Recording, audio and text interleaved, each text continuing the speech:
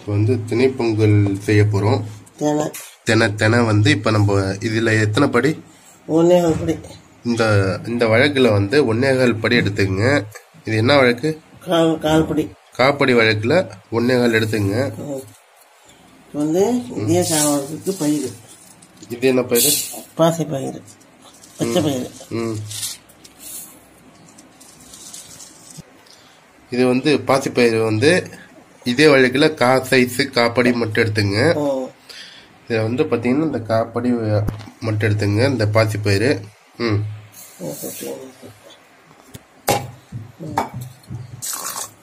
இது எவ்வளோ? இதில் தண்ணி ஊற்றி நம்ம அதை களைஞ்சி அப்படியே வச்சுக்க வேண்டியதான் மூணு கடையில் கடையில் இதில். அதில் உள்ள டஸ்ட்டு இதெல்லாம் இதுங்கிறதுக்கு கல் இருக்கும் மண் இருக்கும் அரிச்சிக்கணும் கண் கல் மண் இதெல்லாம் இருக்கும். இதெல்லாம் நம்ம அரிச்சிக்கணும் தண்ணி ஊற்றி இப்போ இதில் வந்து நம்மளுக்கு கல் மண்ணெல்லாம் நம்ம கையில் மாட்டுமா? அடியில் இருக்கும் ம்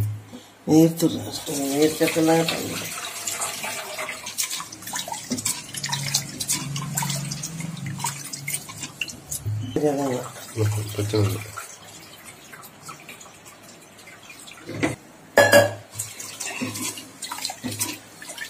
பாருங்கள் அந்த கலர்லாம் மாதிரி இப்போ ஃப்ரெஷ்ஷாக இருக்குது பாருங்கள் இப்போ இதையும் நம்ம வந்து ஊத்துறோம். இப்போ இதில் வந்து கல் மண் இருக்கான ஆமாம் இதில் ஒரு பத்து நிமிஷம் வந்து ஊற வைங்க இந்த தண்ணியில். ஏன்னா கல் மண் இருந்ததுன்னா அடியில் தங்கும். அதுக்காக இது ஒரு பத்து நிமிஷம் தண்ணியில் ஊற வைங்க.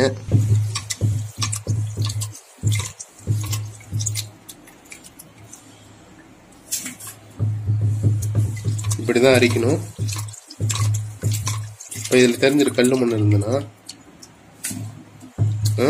ஆமாம் அடியில் இருந்த சரி ம்.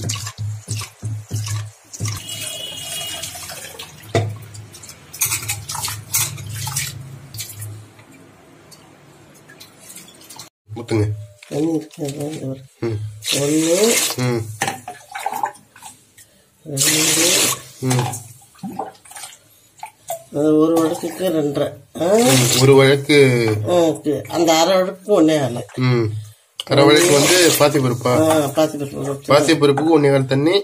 இது ஒரு வழக்குக்கு ஒரு ப- ஒரு டம்ளர் தண்ணி. சரி ஓகே. மொத்தம் வந்து ஒ- ஒண்ணுக்கு வந்து பெருங்காயமா பெருங்காயத்தூள் எவ்வளோ? சும்மா ஒரு டீஸ்பூன். உப்பு ஒரு டீஸ்பூன். மஞ்சத்தூள்.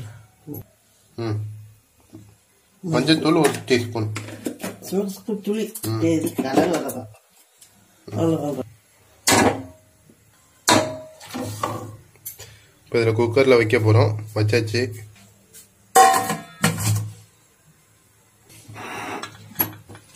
இப்போ இது எத்தனை சவுண்டு வரணும்? நாலு சவுண்டு சிம்லேயே ஆன்லையா ஆனில் வச்சு இது ஒரு நாலு சவுண்டு வந்த உடனே ஆஃப் பண்ணிடணும். அந்த பொங்கலில் தாளிக்கிறதுக்கு இஞ்சி வந்து ஒரு சின்ன துண்டு பச்சை மிளகா ஒரு பச்சை மிளகா கட் பண்ணிக்கங்க. கருவேப்பிலை. ஒரு கத்து. இதெல்லாம் நம்ம ரெடியாக எடுத்து வச்சுப்போம். மிளகு ஒரு ஸ்பூன் எடுத்துங்க. அடுத்தது ஜீரகம் ஒரு ஸ்பூன் எடுத்துங்க. இதை ரெண்டு மூணு முடிச்சுங்க இந்த மிளகு வந்து உடைச்சிக்கங்க. பாதி பாதியா. இது ஜீரகம். மொத்தமாக இது இப்போ நம்ம அந்த பொங்கல் விசில் நாலு சவுண்டு வந்த உடனே இறக்கி இதெல்லாம் போட்டு நம்ம தாளிக்க வேண்டியதான் ஒரு பத்து முந்திரி எடுத்துக்கங்க. அதை பாதி பாதியாக இப்படி கட் பண்ணி ஒரு பிளேட்டில் வச்சுக்கோங்க. இப்போ வெந்துருச்சான்னு பார்க்க போகிறோம் பாருங்கள் புகை அடிக்குது.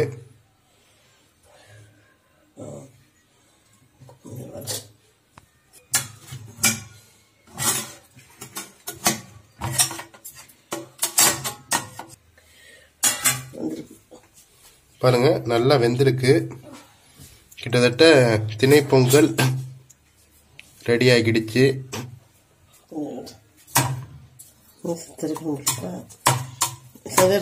ம்.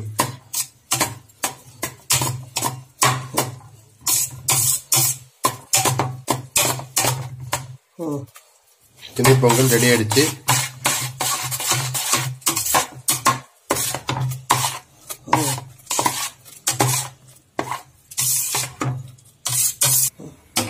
தாளிக்க போகிறோம். ம்.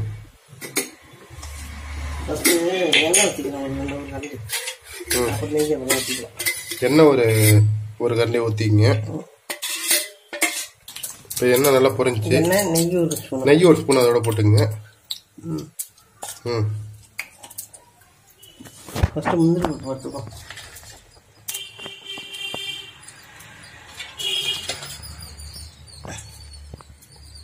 இப்போ முந்திரி பருப்பு.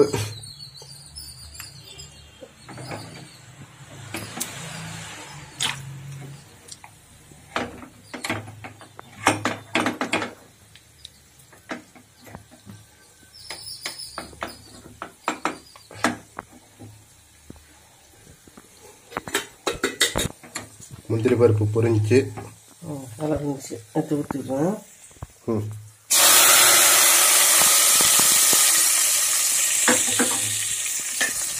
பாருங்க முந்திரி பருப்பு அப்படியே இதில் பொங்கலில் போட்டோம்.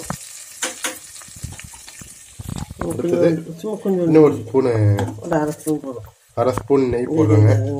ம்.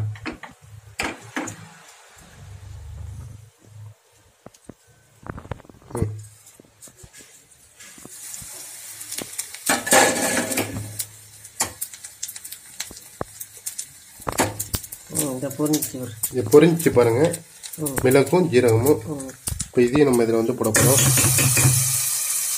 இது இதை அடுத்தது இந்த சூட்லேயே நம்ம வந்து கருவேப்பிலை பச்சை மிளகா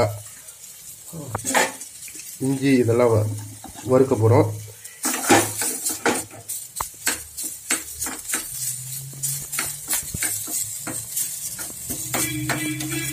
நல்லா வதவட்டும். இப்போ இதில் நம்ம இதை போட போகிறோம் இப்போ இது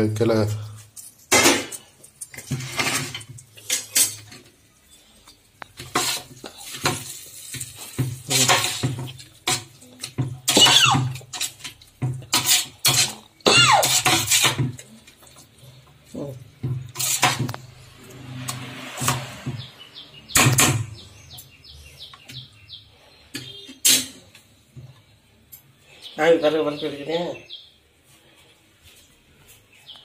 நமக்கு திணை பொங்கல் ரெடி ஆயிடுச்சு.